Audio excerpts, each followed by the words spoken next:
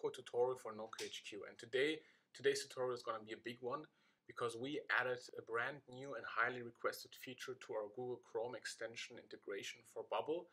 If you don't know about it uh, already, um, we basically offer an integration where you can build Google Chrome extensions without code just using your Bubble application. You can get more information at chrome.nocodehq.com, submit, uh, get your build, um, buy the plugin and you're good to go. So please watch our other tutorials if you're um, new to this. But what we added today um, is a big feature which basically allows you to build all kinds of Chrome extensions in the future. What this is, it allows you to inject custom JavaScript scripts into the current page, the current active tab of the user. This will obviously mean that you will need to um, write some code yourself, but the great thing is you just have to write the actual script um, that you want to insert into the page, and that's just in JavaScript and usually um, many things can be done really easily. And if our other extension actions that we have included with the Chrome extension plugin don't offer something um, that you want to do uh, with your Chrome extension, then the custom script action will definitely allow you to do that by just adding your own script. So let's just see how that looks in practice. Okay, so as always, we have our Bubble Chrome extension page here. I just called that F. Uh, we have our plugin dragged onto the page here, Chrome extension, and we can build our Chrome extension as always in Bubble. We're not going to focus on the UI here too much because that doesn't really matter in this case. Let's just make the background maybe, I don't know, grayish, okay? I'm just going to simply add a button to the, um, to the center of my Chrome extension and I'm just going to uh, change the text to um, inject script. Okay, so let's start at our workflow. So let's click that. Let's go to element actions and you see already our Chrome extension, the, all the actions you have access to and the new action we added custom script. Okay, so if we click that, this is a simple action. If you look at it, it just has a code field, which means this is the code or the, and to be more precise, the JavaScript code you want to inject into the current page HTML. Okay. Now, obviously, the question is, what can I do with that? Well, almost everything. Um, depends on what you want to do. So I'll give you a few examples. You can add event listeners. You can add HTML, remove HTML. You can embed things in the current page. You can change the style, so modify all kinds of CSS. We're going to show you three examples from very simple to a bit more complex, but obviously um, are so many things you can do, we wouldn't be able to show you everything in a video and not even in 10 videos. So Let's start off the simplest example of them all.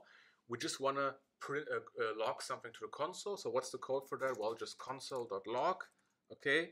And then add whatever you want to log to the console here. And obviously you can always use dynamic data, okay? But we're going to use something static. We're just going to say hello world, okay? And now I just have the software page of Wikipedia here open. I'm just going to right click inspect and take a look at the console. Okay, it's empty. So now if we open our Chrome extension, okay, this will load a bit because it's quite full with plugins for testing purposes. So once this is loaded, we should see the button. Let's wait a second. All right, so it, the button says inject script. So let's take a look at it. Let's press that. Perfect. You can see hello world is instantly logged to the console. No issues at all. I can print it several times or log it several times. Um, and yeah, quite simple. Uh, probably no real world application, but just the easiest example to demonstrate. Let's take a look at something a bit more complex. So let's stay with the software page here in Wikipedia. Say, for whatever reason, you always want to change the title here, this heading, the Wikipedia article name, you want to change the color of that.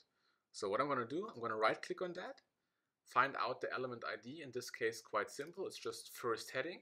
Okay, we can copy that or just remember that go back here and let's actually add the code. So the code in this case would be uh, document dot get element by ID. Okay, then obviously the ID we want to target, which in this case is first heading. We want to change its style. We want to change the color. And we want to change it to, and now whatever you want to do. I'm just going to enter blue. You could enter any kind of color you want. Okay, and that's basically it, okay? So let's try that out. So let's open our Chrome extension again. And let's inject the script, see what happens. Take a look at this text here. Great. immediately change to um, to blue. Um, the title is now blue. Um, again, maybe not, um, maybe no real life uh, application of that or use case for that. I don't know to be honest, but just showing you any kind of script is possible. You can interact with the DOM as much as you want. Let's take a look at one last example, which isn't complex. It's maybe a bit more complex than the last two examples, but still um, quite simple. What I want to do, I want to add event listener. Um, I want to do something when something happens, okay? Um, and obviously there's a lot of use cases for that. We're just gonna have a really, really simple use case. We want to say when this content box here is pressed, we want to show an alert saying this is the content box of Wikipedia. Why you would want to do that, uh, I don't know in this case, but uh, believe me, there's a lot of use cases for event listeners. But let's just try to recreate the functionality I just described. So I'm going to go back here now. Actually, first of all, we have to check the ID of this content box. So let's right click, inspect, and let's see. Yep, okay. So the ID of this whole block is TOC, which is okay, which that means if a user clicks here on the right side, it will also show the alert. But let's just go with that, okay? So let's keep in mind TOC, or you can copy that once again. Let's go back to our bubble application and let's enter the code here. So this will be a bit more, um, a bit longer. So let's remove this part. We don't need that. Let's change the ID to TOC. Okay. And this time we want to do, we want to do add event listener. Okay. The event listener we want to add is on click. Okay comma, and then we want to have a function that runs, and this function will simply show an alert, and this alert will say, uh, you have clicked the content box of Wikipedia. Okay, I guess the code should be correct. Um, Okay guys, I just went back here and just uh, cleaned up the code a bit so it's a bit more uh, easier to read. So let's just summarize again. I'm targeting my TOC, I'm adding an event listener that when this is clicked, I want to show this alert which says you have clicked the content box of Wikipedia. So let's try that out. So I'm going to just open my Chrome extension once again and be aware that now when I click on inject script, nothing will happen immediately because we're just adding an event listener, which will then trigger something once this event takes place. So let's click on inject script. Nothing happens, okay. So now let's click on uh, our content box. Let's see what happens. Great. You have clicked the content box of Wikipedia. Works perfectly fine.